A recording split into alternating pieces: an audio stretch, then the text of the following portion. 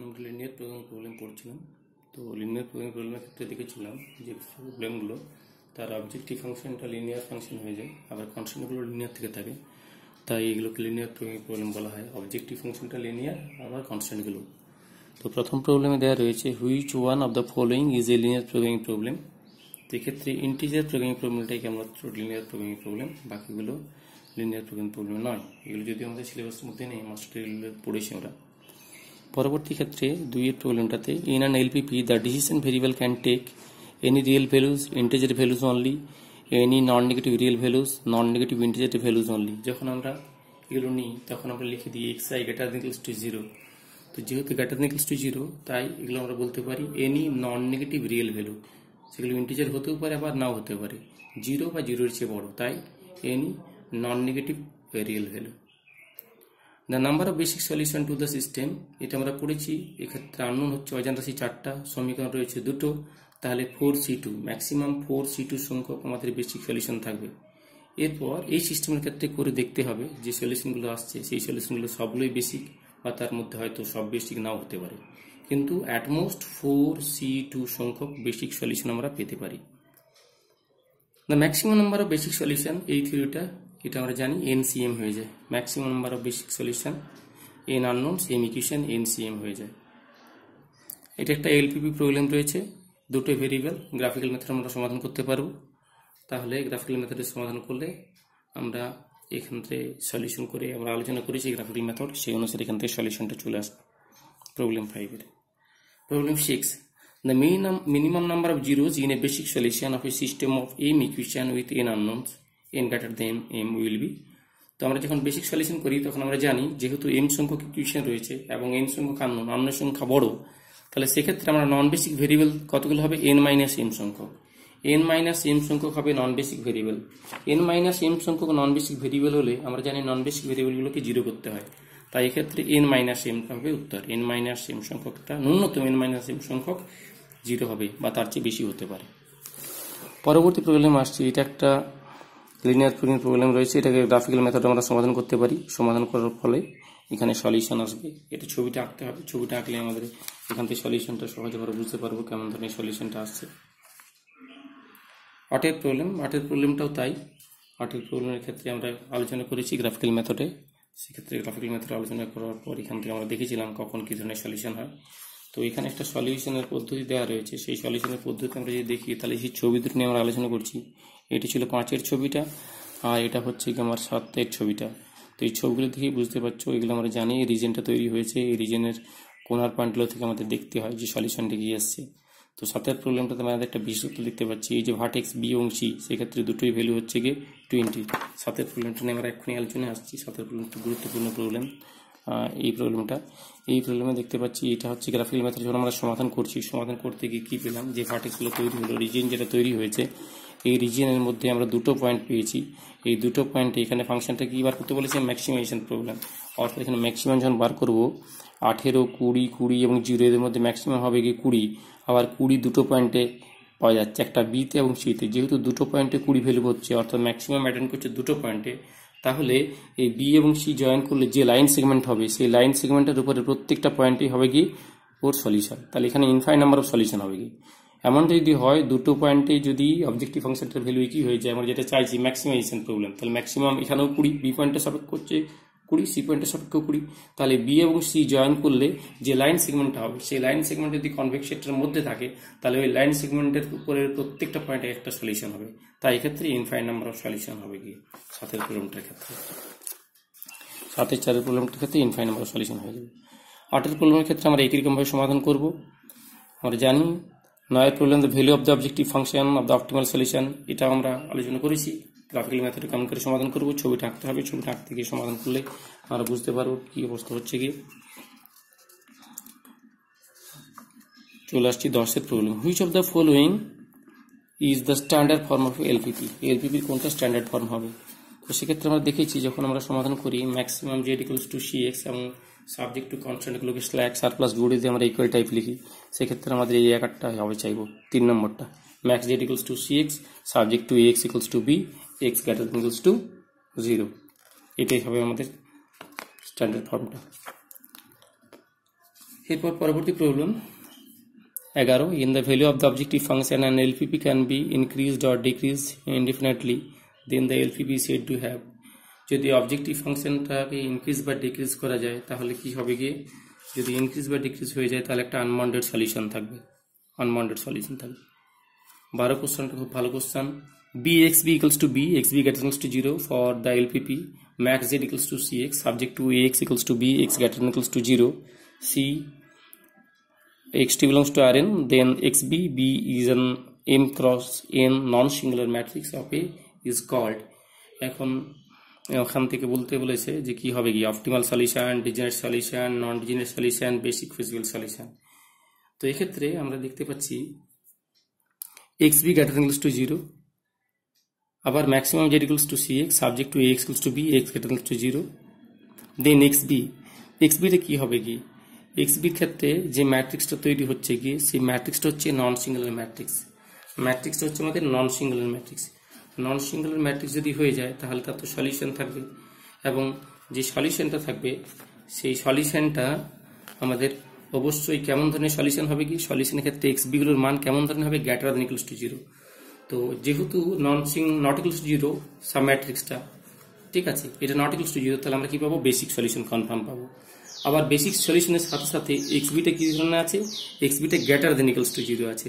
তাহলে গ্যাটার দেন to zero হলে আমাদের কি হয়ে যায়? কন্ডিশনটা কি স্যাটিসফাই করে? ফিজিক্যাল সলিউশন তাহলে যেহেতু নন সিঙ্গুলার তার জন্য হচ্ছে গিয়ে বেসিক এবং গ্যাটার দেন টু জিরোর জন্য হচ্ছে গিয়ে ফিজিক্যাল তাই দুটো মিলে আমরা বলতে পারি সলিউশনটা হবে বেসিক ফিজিক্যাল সলিউশন এই চারেরটা বেসিক ফিজিক্যাল সলিউশন পরবর্তী problem any solution to a general LPP which satisfies the non-negative restriction of the problem is called non-negativeness আমরা জানি নন নেগেটিভ কন্ডিশন হোল্ড করলে তাই কি বলা হয়? ফিজিক্যাল সলিউশন ঠিক আছে? ফিজিক্যাল সলিউশন হয়ে যায় নন নেগেটিভনেসটা পরবর্তী প্রবলেম, এটা একটা সলিউশন দেওয়া রয়েছে। এই সলিউশনটা কী ধরনের সলিউশন হবে কি? তো এক্ষেত্রে সহজেই দেখতে পাচ্ছি এগুলো সবই পজিটিভ রয়েছে। তাহলে অবশ্যই ফিজিক্যাল বলতে পারি। এখন ফিজিক্যালের সাথে সাথে আমাকে টেস্ট করতে হবে, এটা বেসিক কি বেসিক নয়। তো এখানে তিনটে ভেরিয়েবল রয়েছে এবং দুটো আমাদের অজানা দুটো সমীকরণ রয়েছে। তিনটে variable x one x two x three তিনটে ভেরিয়েবল আর সমীকরণ হচ্ছে দুটো। তো সেক্ষেত্রে এই যে সলিউশনটা এই সলিউশনটা আমাদের ফিজিক্যাল সলিউশন ঠিকই কিন্তু এই সলিউশনটা আমাদের বেসিক হবে না বেসিক সলিউশন হবে না। কারণ এক্ষেত্রে যেহেতু বেসিক ভেরিয়েবল হবে দুটো, একটা নন বেসিক ভেরিয়েবল হবে, একটা নন বেসিক ভেরিয়েবল হলে জিরো হবে একটা। তো এক্ষেত্রে যেহেতু তিনটেই নট ইকুয়ালস জিরো আছে, তাই এখানে সলিউশনটা আমি বেসিক সলিউশন বলতে পারব না। কিন্তু সলিউশনটা অবশ্যই ফিজিবল কারণ সবাই পজিটিভ রয়েছে। পরবর্তী ক্ষেত্রে আমরা চলে আসছি প্রবলেম নাম্বার ফিফটিন ফিফটিনের ক্ষেত্রে যদি দেখি সলিউশনটা দেখি সলিউশনের ক্ষেত্রে এক্স টুটা মাইনাস আছে, তাহলে এখানে সবাই পজিটিভ নেই। যেহেতু এক্স টুটা মাইনাস আছে, তাহলে আমি সলিউশনটাকে ফিজিক্যাল সলিউশন বলতে পারব না। এখন এটা বেসিক সলিউশন কিনা সেটা যদি টেস্ট করতে চাই, তাহলে এক্স টুটা জিরো মানে এটাকে নন বেসিক হিসেবে ট্রিট করতে হবে। তাহলে এটা নন বেসিক ট্রিট করলে করসপন্ডিং টু এক্স ওয়ান এবং এক্স টু দিয়ে যে সাবমেট্রিক্সটা হবে গিয়ে, সেটা হবে ওয়ান টু টু ওয়ান তাহলে মানে ওয়ান টু টু ওয়ান এটা যদি ডেটটা বার করি ডেটটা হবে কি one minus four minus three ডেটটা নট ইকুয়াল টু জিরো আসছে, তাহলে অবশ্যই বেসিক সলিউশন তাহলে সলিউশনটা হবে বেসিক সলিউশন কিন্তু এক্ষেত্রে সলিউশনটা বেসিক হলো ফিজিক্যাল সলিউশন নয়। আবার এই বেসিক ভেরিয়েবলগুলো দুটোই নট ইকুয়াল টু জিরো আছে। নট ইকুয়াল টু জিরো মানে নন ডিজেনারেট তাহলে সলিউশনটা হবে বেসিক সলিউশন সলিউশনটা হবে বেসিক সলিউশন কিন্তু নন ডিজেনারেট কারণ বেসিক সলিউশনগুলো যদি নট ইকুয়াল টু জিরো হয়ে যায়, তাহলে নন ডিজেনারেট কিন্তু এটা ফিজিক্যাল সলিউশন নয়। কেন? এটা নেগেটিভ রয়েছে। ষোলোর প্রবলেমটা কনভেক্স সেট সংক্রান্ত প্রবলেম খুব ভালো problem which of the following is not a convex set প্রথম যেটা রয়েছে এই সেটটা এটা একটা সার্কেল রয়েছে। যে সার্কেলটা রেডিয়াস থ্রি তার ইনসাইড রয়েছে। এবং এই সার্কেলটা রয়েছে রেডিয়াস ওয়ান দুটোরই সেন্টার জিরো তো এখানে একটা অ্যানুলাস রিজিয়ন তৈরি হয়ে যাবে। অর্থাৎ দুটো সার্কেল রয়েছে, একটা সার্কেল হচ্ছে যা রেডিয়াস ওয়ান তার বাইরের দিকটা। জিরো জিরোকে সেন্টার করে, এই যে, এই সার্কেলটা এটা হচ্ছে জিরো জিরোকে সেন্টার করে, তার বাইরের দিকটা হচ্ছে কি এই রিজনটা ডিনোট করছে। আর এই ডিনোটটা করছে যে জিরো জিরোটা সেন্টার হবে সার্কেলটার এবং রেডিয়াসটা তিনের থেকে রুট থ্রি থেকে ছোটো হবে কি? রেডিয়াসটা হবে রুট থ্রি থেকে ছোট। তাহলে আমরা একটা অ্যানুলাস রিজিয়ন পাবো, যেটা হচ্ছে গিয়ে এক থেকে শুরু করে রুট থ্রি পর্যন্ত। ফলে এই অ্যানুলাস রিজিয়নটা কিন্তু আমাদের এটা কনভেক্সেট হবে না। এটার ক্ষেত্রে এটা একটা কনভেক্সেট হবে, কারণ এটা একটা হবে গিয়ে আমাদের রিলিফস হবে। অ্যান্টার রিলিফসটা এবং রিলিফসের ভিতরটা, এটা হয়ে যাবে কনভেক্সেট তিনের ক্ষেত্রে এটা যদি আমরা দেখি, এটা একটা রেক্টেঙ্গুলার শেপ আসবে। আর এটা একটা স্ট্রেট লাইন এটা একটা কনভেক্সেট হয়ে যাবে। তাহলে আমরা যদি প্রশ্নে আসি, প্রশ্নে বলেছে কোনটা আমাদের কি হবে? নট এ কনভেক্স সেট সেক্ষেত্রে এই জায়গাটা এক একটা কনভেক্স সেট হবে না কেন? কারণ এটা একটা অ্যানুলাস রিজন তৈরি হয়ে যাবে আচ্ছা।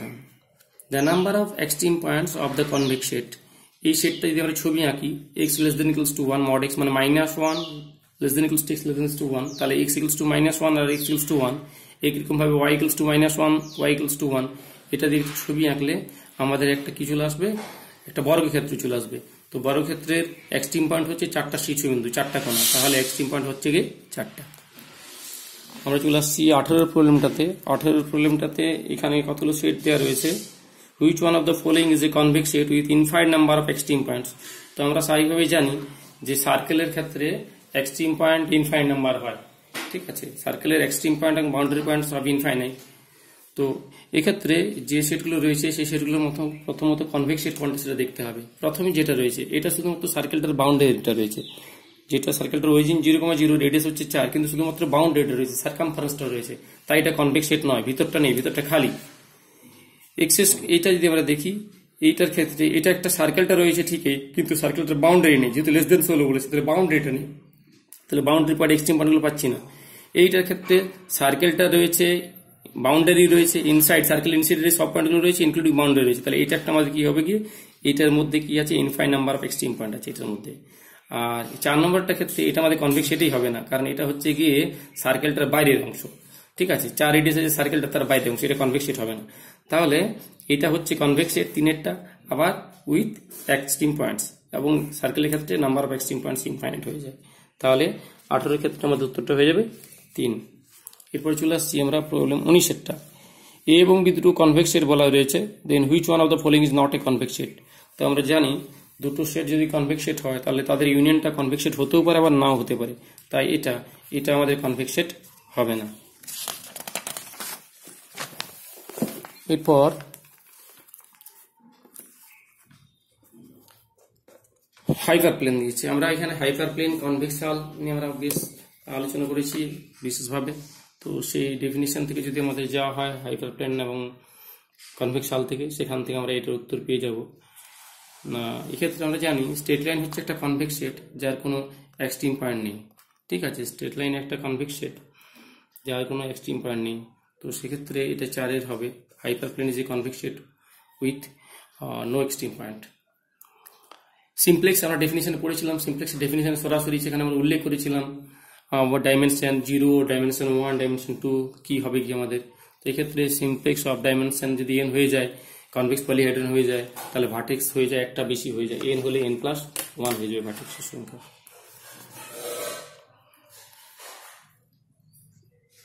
Consider the following statement about the LPP এই প্রবলেমটিও গুরুত্বপূর্ণ problem The number of visual solution is infinite and hence the number of basic visual solution is infinite. এই কথাটা ঠিক যুক্তিযুক্ত হচ্ছে না। এখানে বলা হচ্ছে কি, যদি ফিজিক্যাল সলিউশন ইনফাইনাইট হয়ে যায়, তাহলে সেই বেসিক সলিউশনের সংখ্যা ইনফাইনাইট হবে। পরবর্তী ক্ষেত্রে বলা হয়েছে, একটা LPP may have no physical solution অবশ্যই এলপির ক্ষেত্রে আমাদের ফিজিক্যাল সলিউশন নাও থাকতে পারে। আমরা দেখেছি গ্রাফিক্যাল মেথড সমাধান করেছি। দুটো সমান্তর সরলরেখা দুপাশে রইল। মাঝে কোনো রিজিয়ন থাকল না ফিজিক্যাল রিজিয়ন থাকল না, ফলে কোনো ফিজিক্যাল সলিউশন হলো না। তিন নম্বরে বলছে the number of optimal solution when they exist is finite number of optimal সলিউশনগুলো ফাইনাইটও হতে পারে, আবার ইনফাইনাইট নাম্বার হতে পারে। আমরা একটু আগে আলোচনা করলাম, দেখলাম দুটো পয়েন্ট বি এবং সি পয়েন্টে দুটো এক্সট্রিম ভ্যালু টোয়েন্টি আসছিল। সেক্ষেত্রে বি এবং সি পয়েন্ট যোগ করলে যে পয়েন্টগুলো পাচ্ছিলাম, সেই পয়েন্টগুলো বি এবং সি জয়েন করে যে লাইন সেগমেন্টটা পাচ্ছিলাম, সেই লাইন সেগমেন্টের উপরে প্রত্যেকটা পয়েন্টে হচ্ছিল সলিউশন সেক্ষেত্রে ইনফাইন নাম্বার সলিউশন হচ্ছে গেলো গিয়ে আমাদের। আর পরবর্তী ক্ষেত্রে if one can get two optimal solution then one can obtain an infinite number optimal solution যদি দুটো অপটিমাল সলিউশন পাওয়া যায় অবশ্যই, এই দুটো লাইন অপটিমাল সলিউশন পাওয়া গেলে সেই দুটো পয়েন্ট দিয়ে যদি আমরা লাইন সেগমেন্ট জয়েন করি এবং সেটা যদি রিজনের মধ্যে থাকে, তাহলে প্রত্যেকটা পয়েন্টেই হয়ে যায় অপটিমাল সলিউশন তো সেক্ষেত্রে আমরা বাইশের প্রবলেমটার ক্ষেত্রে বলব বি এবং ডি এই দুটো ঠিক রয়েছে বি এবং D problem twenty three twenty three প্রবলেমগুলোর একটা প্রবলেম দেওয়া রয়েছে। এই প্রবলেমটার ক্ষেত্রে আমাদের কি করতে হবে? না, এর সলিউশন বার করতে হবে। তাহলে যখনই এই আকারের প্রবলেম রয়েছে, আমরা গ্রাফিক্যাল মেথডের সাহায্যে ছবিটা আঁকবো। ছবিটা এঁকে আমরা রিজেন্টটা দেখব। সেই রিজেন্ট থেকে আমরা সলিউশন বলতে পারব। আমরা গ্রাফিক্যাল মেথডের সাহায্যে এগুলো সলিউশন নিয়ে আলোচনা করেছি। সেক্ষেত্রে এই গ্রাফিক্যাল মেথড দিয়ে সলিউশনগুলি কিন্তু খুব গুরুত্বপূর্ণ। তো এই সার্কুলামটা একইরকমভাবে তোমরা ছবি এঁকে করার চেষ্টা করবে? Twenty four given LPP the optimal value of the objective function একই রকমের গ্রাফিক্যাল মেথডের সাহায্যে যখনই দুটো ভেরিয়েবল থাকছে এক্স ওয়ান আর এক্স টু তখনই তো আমরা গ্রাফিক্যাল মেথডে পেয়ে যাচ্ছি। গ্রাফিক্যাল মেথডের সাহায্যে সমাধান করতে পারব। আর যখন মোর দেন টু হয়ে যাবে, তখন তার গ্রাফিক্যাল মেথড আসবে না, তখন আমাদের সিমপ্লেক্স বা যেটি আসবে। তো সিমপ্লেক্স বা যেহেতু হলে সেগুলো প্রবলেমগুলো বড় হয়ে যাবে, তাই সেগুলো আসার সম্ভাবনা কম। এরপর প্রবলেম পঁচিশেরটা পঁচিশেরটার ক্ষেত্রে which one of the following is not true পঁচিশের ক্ষেত্রে কোনটা সত্য নয়? এখানে বলেছে the optimal solution of an LPP when finite can always be determined from the extreme points of the solution space অবশ্যই এক্সট্রিম পয়েন্ট থেকে আমরা অপটিমাল সলিউশনটা পেয়ে যাই। In a two-dimensional LPP, the objective function can assume the same value at two distinct extreme points. In a two-dimensional LPP, the objective function can assume অবশ্যই দুটো পয়েন্টে হতেই পারে দুটো পয়েন্টে কেন? দুইয়ের বেশি পয়েন্টও হতে পারে। আমরা দেখ যখন নাম্বার সলিউশন পাচ্ছি গ্রাফিক্যাল মেথডে সেখানে দেখতে পাচ্ছি দুটো পয়েন্টে একই আসছে ফলে ওই দুটো দিয়ে যে লাইনটা হবে, সেই লাইনটার প্রত্যেকটা পয়েন্টে লাইনটা নয় লাইন সেগমেন্টটা হবে। সেই লাইন সেগমেন্টের উপরে প্রত্যেকটা পয়েন্ট কনভেক্সের মধ্যে যদি বিলং করে, আর কি ফিজিওলজির মধ্যে বিলং করে, তাহলে ওই কনভেক্স ওই লাইন সেগমেন্টের উপরের প্রত্যেকটা পয়েন্টে একটা একটা সলিউশন হয়ে যাবে।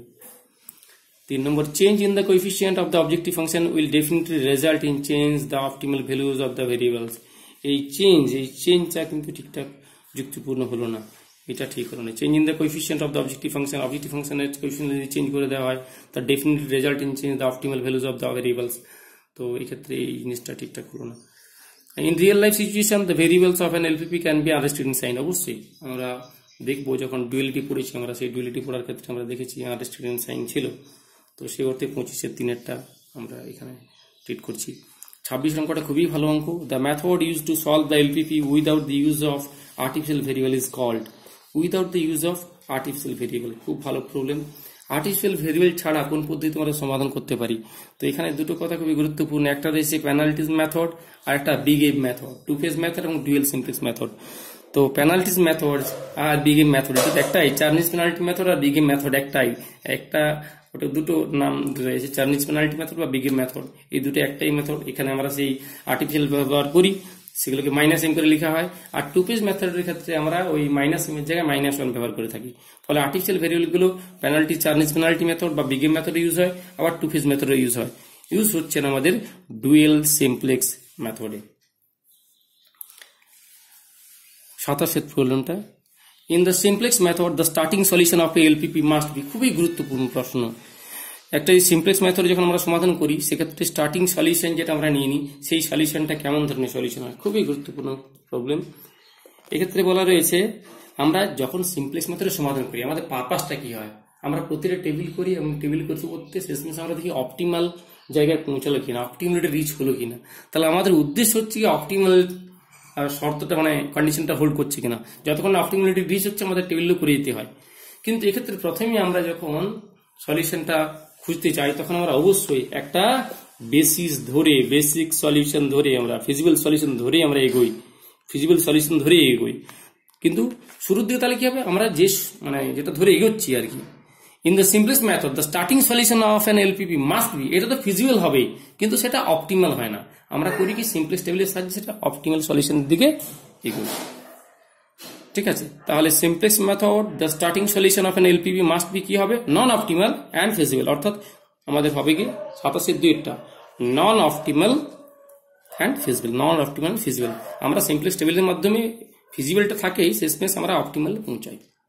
পরবর্তী প্রবলেমগুলো আমরা পরে আলোচনা করব।